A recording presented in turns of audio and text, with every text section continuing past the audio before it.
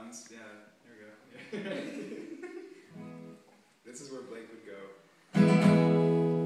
It would be awesome.